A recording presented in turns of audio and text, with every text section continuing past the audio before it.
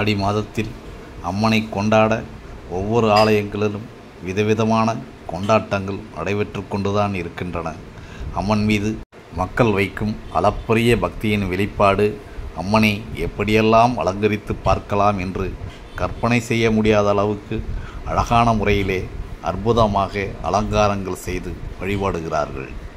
எத்தனை விதமான அலங்காரங்கள் உண்டோ அத்தனை விதமான அலங்காரங்களையும் செய்து அம்மனுக்கு அழகூட்டி அந்த அம்மனை வழிபடும்போது அடையும் மன திருப்தியும் அதை தரிசிக்கும் போது ஏற்படுகின்ற மகிழ்ச்சியும் வார்த்தைகளால் வர்ணித்து சொல்லிவிட முடியாது.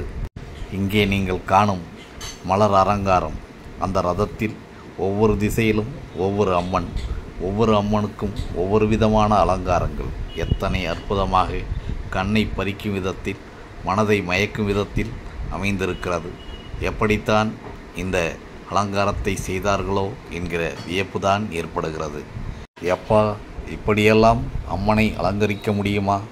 ஆஹா எத்தனை அற்புதமாக இருக்கிறது இந்த அலங்காரம்.